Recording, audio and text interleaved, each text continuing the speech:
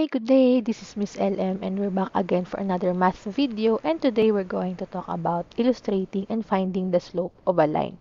So before we illustrate or find the slope of a line, let us know first what is a slope of a line. So it is denoted by or represented by variable m. So now, pag may nakita kayong variable m, ibig sabihin slope po yun. It is the tilt or inclination or steepness of a line. So yung mga slanting line natin before ay yun pala yung slope. Ano po? And it is also the ratio of vertical change to horizontal change or it is the change in y over the change in x. So this is the definition of the slope of a line. So now, how are we going to illustrate it?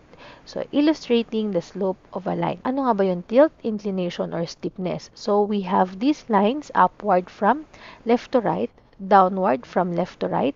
We also have the vertical line and the horizontal line. So this shows tilt, inclination, or steepness. But let us give a deeper meaning about the slope. So there are four types of slope of a line and we can determine that by just looking at the illustration of the line. Malalaman daw natin yung four types of slope na yun just by looking at these four types of lines. So again, meron tayong upward from left to right, downward from left to right, meron tayong vertical at meron tayong horizontal. The first type of slope is positive slope. If the slope is positive, then the graph is increasing from left to right. So, yung line daw natin ay increasing from left to right or upward from left to right, pataas na ganito. Positive daw ang magiging slope pag nakakita tayo ng line na ganito. Then, negative slope naman if the graph is decreasing from left to right. Downward naman siya from left to right. We have zero slope kapag horizontal line naman pagpahigang linya, yung parang x-axis. Pag nakakita tayo ng ganyang line, automatically, zero ang slope niya. Then, the last one is the undefined. Kapag ang graph ay vertical line, patayong linya, parang y-axis, siya po ay undefined slope.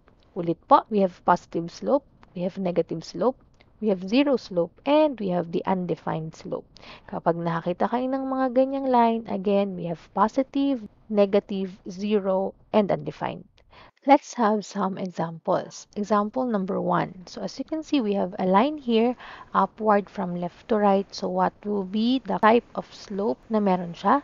So it has positive slope. Okay, number two. Again, upward from left to right, meron siyang positive slope. Number three, we have negative slope. Number four, ayan, so we have vertical lines, so automatically that is undefined slope. Number five, we have horizontal line. So, meron tayong zero slope. Number 6, downward from left to right ulit. So, that is negative slope. Number 7, horizontal line. That is zero slope. And number 8, upward from left to right, we have positive slope. So that ends our video about illustrating the slope of a line. I hope you learned something from this video. Do not forget to click the subscribe button, thumbs up this video if you have learned something from this and do not forget to click the notification bell button. And stay tuned for another portion of this lesson. Okay? Bye-bye!